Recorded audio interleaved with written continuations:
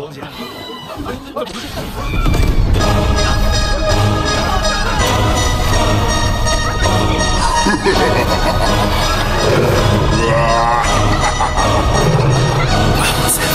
ਗੱਡੀ ਲੈਂਬਗੀਨੀ ਪੀਲੇ ਰੰਗ ਦੀ।